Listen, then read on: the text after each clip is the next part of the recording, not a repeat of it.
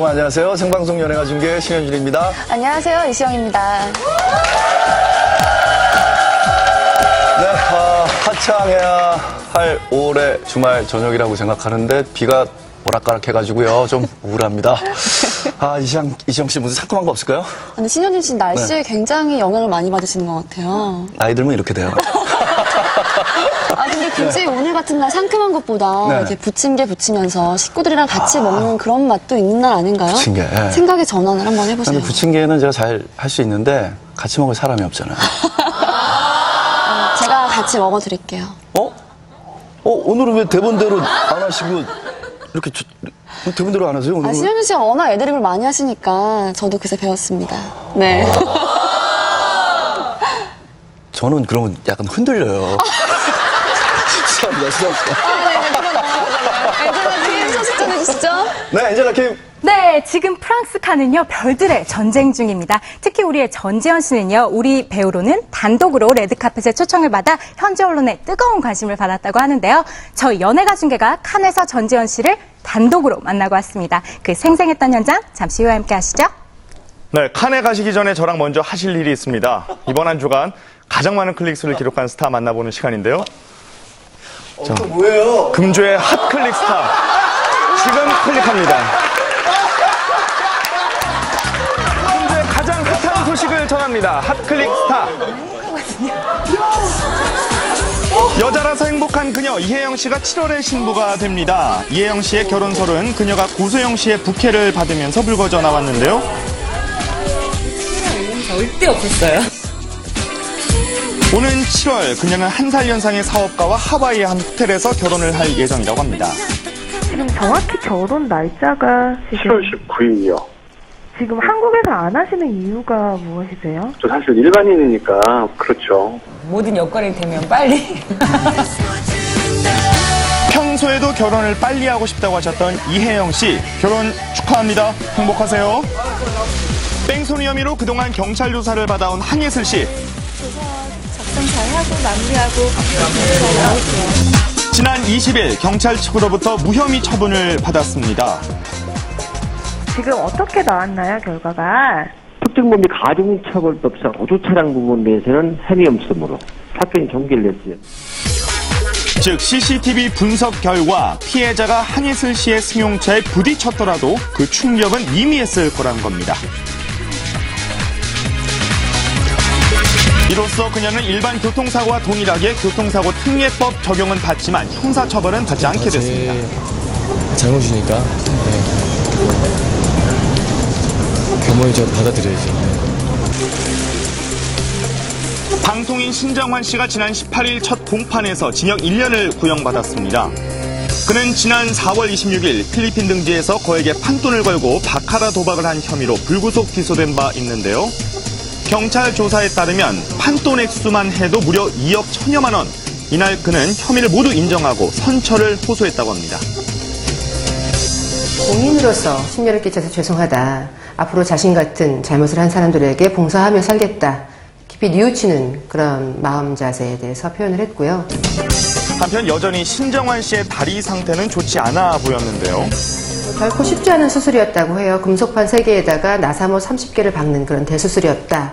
라고 의료진은 전했고, 변호인 측에서도 이런 부분이 워낙에 이제 대수술이다 보니까 재활 기간이 좀 필요하다. 오래 필요하다. 아, 용서를 빌면 아, 언젠가는 아, 용서를 해주실 거라고 이번 사건의 선고 공판은 6월 3일 열릴 예정입니다. 서태지 이지아 씨의 위자료 및 재산분할 청구 소송이 새로운 국면을 맞이했습니다.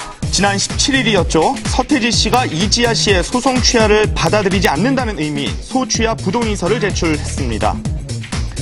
우선 그간의 일들을 정리해 봤습니다. 사- 지난 4월 21일 이지아 씨의 소송으로 이 커플이 결혼과 이혼을 했다는 사실이 알려졌는데요. 결혼 사실을 대중에게 공표하지 못하고 비밀 결혼 생활을 하면서 그런 생활 자체가 굉장히 힘들었을 것이고 이지아 씨 측은 보도 자료를 통해 그 사실을 인정했으며 이후 서태지 씨가 첫 공식 입장을 발표했습니다. 하지만 이혼 시점에선 양측이 차이를 보였는데요. 이런 논란 속에 이지아 씨는 돌연 소송을 취하했습니다. 그렇다면 서태지 씨는 왜 소취하 부동의서를 제출한 걸까요? 판결로 확실하게 어, 자신은 이제 위자료 청구라든가 재산 분할 청구권이 기간이 지났다는 걸 그러니까 분명하게 그런 점을 판결로 받겠다는 의지가 있는 것으로 보입니다. 즉 이것은 이지아 씨와의 소송을 확실히 매듭 짓고자 하는 서태지 씨의 의지를 보여주는 겁니다. 그 재발 가능성을 배제할 수 없으니까요. 확실히 그 판결을 받아서 확실히 정리를 하는 거 하는 거랑요. 소송이 진행되면서 나 뭐 확산되었던 루머라든지 이런 부분에 대한 사실 확인이 필요하다고 생각을 해가지고요. 가사 소송의 경우 위자료는 쌍방 합의 취하를, 재산 분할은 일방 취하를 기본으로 하고 있는데요. 때문에 두 사람의 경우 50억 원의 재산 분할과 5억 원의 위자료 중 위자료 소송분만 남겨진 상태입니다.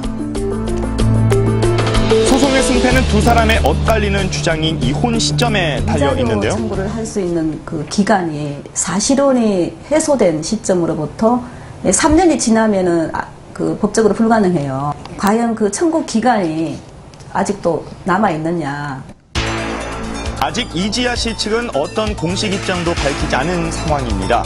오는 월요일이죠. 법정에서 다시 만나게 되는 두 사람. 과연 어떤 카드를 준비했을지 관심이 모아지고 있습니다.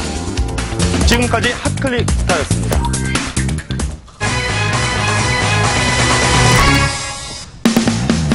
이곳은 세계적인 영화제가 열리는 칸입니다. 영화 축제를 즐기기 위해 전 세계 별들과 팬들이 한자리에 모인 이곳. 그 어떤 별보다 화려하게 빛나는 별이 있었으니 칸을 올린 그녀 전지현과의 달콤한 데이트 지금 시작합니다. 바다 건너 비행기를 타고 프랑스 칸에서 그녀를 만났습니다. 안녕하세요. 전지현입니다. 이렇게 날씨 좋은 깐네에서 인사드리네요. 반갑습니다. 너무 좋아요. 너무 좋고, 그리고 정말 이렇게 영화 홍보하러 저는 여기 왔지만, 어, 홍보하면서 새로운 경험도 하고, 사람도 많이 만나고, 이렇게 좋은 날씨도 즐기고, 맛있는 것도 먹고, 뭐, 너무 좋은 일밖에 없어요. 그동안 해외 촬영으로 만나보기 힘들었던 전지현 씨. 웨인원 감독의 영화 설화와 비밀의 부채 홍보차 처음으로 칸을 찾았다고 하는데요. 많은 스태프분들과 그리고 저도 마찬가지고 정말 그 레드카펫을 위해서 너무 많은 시간을 들여서 조금이라도 더 오래 있고 싶었어요. 그래서 계속 오래 있고 싶어서 천천히 최대한 천천히 그리고 조금 어, 어떻게 하면 조금 더 이쁘게 나올까? 좀 그런 거 어차피 남는 게 사진밖에 없으니까. 지아나 전 전지현 씨의 외국 이름이 불리고 천천히 카메라 앞에서 우아한 자태를 뽐내고 있는 그녀. 오른쪽에서 포즈 잡고 왼쪽에서 포즈 잡고 손도 흔들어 보고요. 다른 배우들에 비해 좀처럼 전진하지 않죠? 어, 나중에는 제가 너무 천천히 시간 끌다 보니까 옆에서 이제 가드 하시는 분이 마드모아제 이렇게 빨리 가시라고. 손짓으로 밑에서 안 보이게. 자 확인 영상 들어갑니다. 이제야 대단을 오르기 시작한 지현 씨. 여러분 위에 턱시도 사나이를 주목해 주세요. 아쉬운 듯 뒤를 보며 손을 흔들어주는 지현 씨를 바라본 턱시도 사나이. 이때 그녀에게 다가옵니다 무언의 손짓을 하는데요. 지현 씨는 민망한 듯 성큼 계단을 오릅니다. 바쁜 일정으로 칸을 제대로 즐기지 못하고 있는 그녀에게 데이트 신청을 했습니다